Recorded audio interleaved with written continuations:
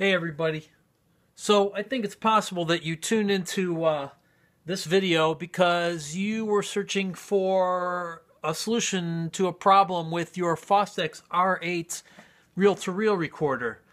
These are great analog multi-track recorders. I've had a lot of good times with this, but these have a problem and a lot of people have this problem and there doesn't seem to be a solution to it, but I think I found a solution, so I'm going to show you what it is problem why it won't why your machine won't rewind and uh, or take up is because these nylon pulleys are get old the nylon gets old and they get brittle and the hub plastic cracks.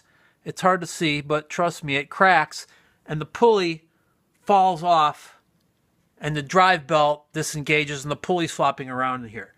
There's no parts for this and there's no support so people are always upset about this, and I've been working at this for a long time. People have tried gluing them. I tried to JB weld this.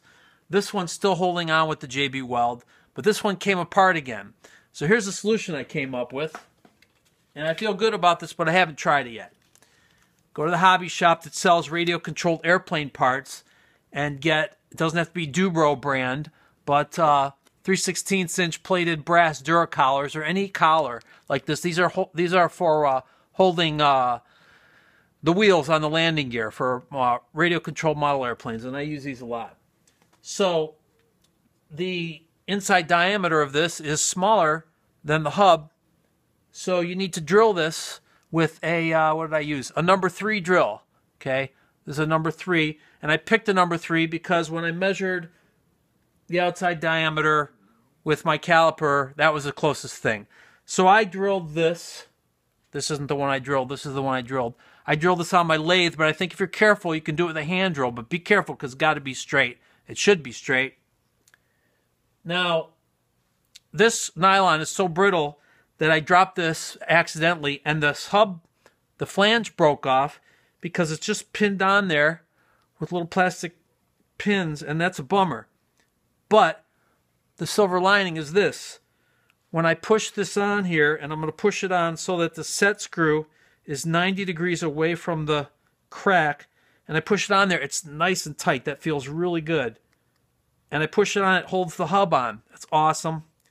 So I'm going to tighten the set screw and push that. No, I'm going to tighten the set screw after I put it on. So I'm going to put this on, and I haven't tried this yet, but maybe I'll make another video if it works. If it doesn't, well, I don't know. But I think it's going to work. So it's a it's a pretty good looking solution for this. And uh, I'll make another video if it works. That'll be great. So I hope I'm saving the world and saving everybody's R8 because they're great machines. And it's such an Achilles heel, this little pulley. Be careful with these. These are old, brittle nylon, okay? So I'll let you know how it goes.